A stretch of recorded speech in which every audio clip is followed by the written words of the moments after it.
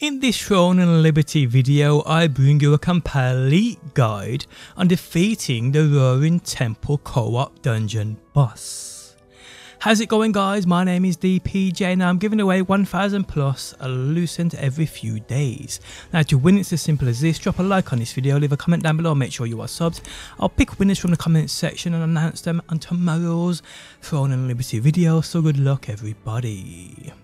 Okay, so running co-op dungeons in Throne and Liberty is one of the better ways to get to and that endgame loot. Uh, along your way to a level 50, you will come to the co-op dungeon of the Roaring Temple.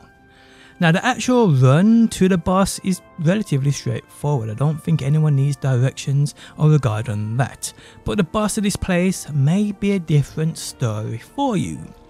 So the boss can be a pain in the ass. Even at a much much higher level than the dungeon recommends, it can still kick your butt. So, the boss of this place is called the King Chimaeus, does that say? Yes, I probably butchered that name, I normally do. Now, if you are struggling here, it's probably because of a few reasons. But the normal things I see a lack of are an actual decent healer, or not knowing the mechanics or understanding the mechanics of this boss fight. Now there are a few different ones you need to know about in order to get this boss run down and if you want to farm this for a certain item it's important you know these things and know what's happening here. So the main thing with this boss you want to watch out for are firstly his annoying ass swipe which stuns you on the spot for a few seconds. Now it's quite easy to see coming, it's actually quite easy to avoid at the same time. Uh, but if you want to get close to that front end, they will know that try and hit you with it. Or sometimes it just targets you and jumps after you. This is normally something it does with me. If this happens to you though, just pull him away from your other teammates so they can lay damage on the boss from behind. So that's the easy boss mechanic out of the way. The other mechanic he does is he sets the floor ablaze which can easily result in death if the correct things are not done. Now you know when he's doing this attack because he jumps into the middle of the arena. So here guys, to know when this attack is imminent, probably it's best to pull him away from the middle of the arena when you're laying down that damage within the damage phases. So once he does jump into the middle of the room, here's what you need to do and know. Now I was told that you need to use the chains in order to throw yourself up into the air to avoid the floor being on fire. Now although this is the correct thing to do, what's actually happening here is when you hook onto the chains within this arena, what's happening here is it's releasing fluid onto the boss which is knocking him out of his phase. Now I do feel a few of these chains need to be hooked onto to knock him out of this phase, but exactly how many I ain't too sure. But I've died mid-air after hooking onto one of these chains while gliding around. So multiple of these chains need to be grappled onto and done so as soon as he enters this devastating damage on the player phase. Now if you take too long or if it isn't done right it can lead to instant death, no matter what level you are. Now some players including myself have semi-tanked this phase, it might be because other players have hooked onto the chains when necessary and stopped the full damage phase from taking place. But yes, whenever he jumps into the center of the room guys, here you want to hook onto those chains ASAP around the edges of the arena to knock him out of it by pouring that liquid on him. Not sure what this liquid is, probably water, probably something else, I ain't sure, but it knocks him out of this phase where you then see him kind of stunned in the, in the middle of the room.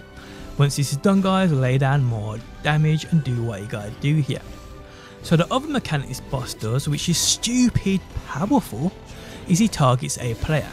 He stuns them in place uh, with like this green aura around them and then he shoots out three or four fireballs at them. These do devastating damage. If all three hit a player they are absolutely done. So here guys this is what you need to do. Look out for when a boss shoots out a green orb out of its tail. Now it does this a few times where it just leaves pools of like poison on the floor. But one of these, if it hits a player, I'm not sure exactly how this works, but one like an orb comes out, it hits a player, it will put this green aura on them and stun them in place. Uh, and then you will then target them and shoot fireballs at that said player that is stuck in place. Now we ain't sure if this attack can be dodged. I mean like if he shoots this green orb at you and you dodge out of the way of it. I'm not sure if you can. But if or someone can try this and let us know down below. But what I do know is when it does hit somebody, you need to basically share that damage that is going to do to that said player stuck in place by running in front of these fireballs. The boss fires at a target who's got that green aura on them stuck in place locked in place. So you need to share the damage here that the boss is shooting at that one said player locked in place. So when you see a teammate stuck on a spot surrounded by that green aura, other players need to run and stand between the boss and that stuck player to share that damage to take the shots of those fireballs. Now what I will say is, these fireball shots the boss shoots have, have crazy AoE damage with them. So don't stand directly in front of the player stunned. Instead get as close to the boss as possible to protect that player who's stuck in place. And it may take a few teammates taking a shot for that stuck player not to die, depending on his level obviously. But once the boss has stuck with those fireballs, the stuck player is freed and he can lay down more damage to that boss. And well, it's just basically a cycle between these boss damage phases. Once you know what you're doing, it ain't too bad. I mean, like I said, once you get the mechanics down here, this is one of the easier bosses in these co-op dungeons. This is only a level 30. Some players are way past this yet, but other players ain't got to this point in the game yet, so that's why I've made this video. But again, guys, this boss consists of three main attacks that he does. The first one is when he swipes at you, leaving you kind of semi-stunned the spot. Uh, leaving you open to take damage from him. Uh, if this happens to you or a teammate, your other players want to come and try and drag his attention from them. He also does, like I said, that wave sets the floor ablaze. This one, guys, you want to use the hooks above you, the chains above you. Uh, multiple teammates need to be jumping up on these.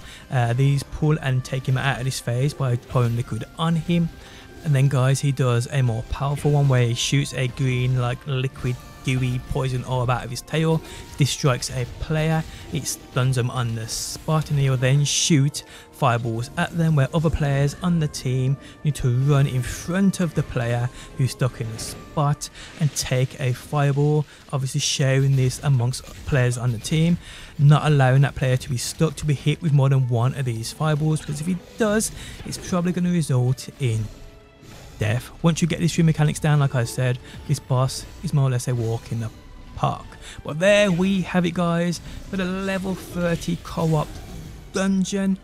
And well, I hope it helped you out. If it did, leaving a like really helps me out. If you like what you see and want to see more, be sure to subscribe and hopefully guys, I will see you on that next one.